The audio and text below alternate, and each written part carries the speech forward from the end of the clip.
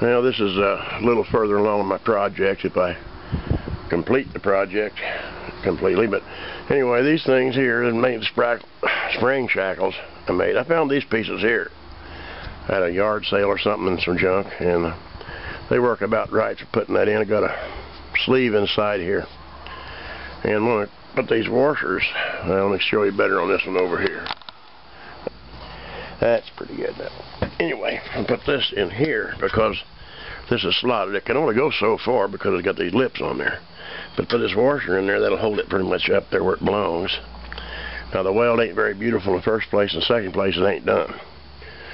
But uh, the shackles look to me like they're going to work just fine. They're just a little over center backwards, so they'll, you know, it'll, it'll go. You can't have it straight them down, or of course it'll just be solid. But uh, it's enough to where when you push down on it, they I can't push it too hard, but it'll move back like it's supposed to. And the front ones up there, they're fixed, so that don't uh, that don't affect anything really the way they are. But like I said, I'm going to put a. I've had something point with. This hammer ain't very good, but put a gusset from here to there because there's not a whole lot holding underneath there. And then uh, likewise over here on this one, uh, gusset right through there. Like I said, it did have, uh, let me back this up a little bit. Okay. I don't know if you can see that very good or not, but it did have, uh, it's got a springs on it now.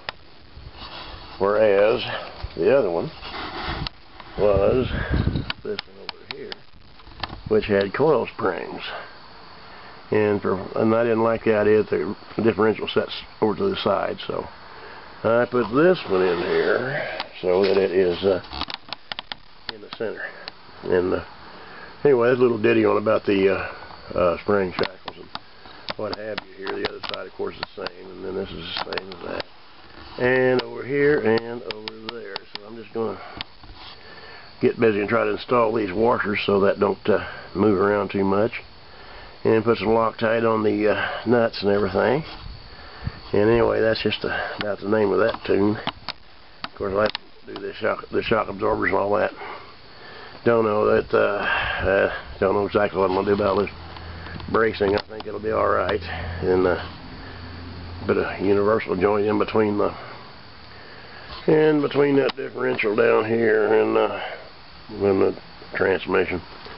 Anyway, that's just a little bit on that. I know it's not very accurate, not very good, but in matter of fact, it's going to be a long time progress on this thing because it's getting cold weather right now. Alrighty, well, had a minor mouth fuck malfunction here. This thing here came unwelded, which that's probably a good thing because I'm going to go ahead and take it loose. I'm going to set this instead of under here flush against that. That's going to give me a little more pitch backward, which we need for the spring shackles.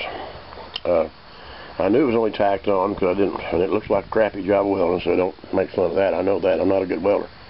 But anyway, we uh, after I got the bolts and washers, all that stuff in here, and push down on it, I imagine I had this a little too tight right here. I got Loctite so that there can be some pivot to it. But in any case, that uh, pushed down, it broke that loose from right here which, as I say, should have been under here and it's up here now.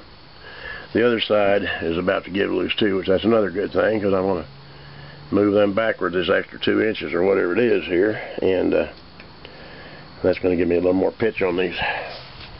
It wasn't straight up and down to begin with, but I guess it was a little too much straight up and down. Plus these bolts, they're just the right size for the holes and all that. And I did get my shims in here to uh, so it'll set against these little flanges and everything like that. So that part's alright. It's just a learn by doing and uh, do when you got time type of thing anyway.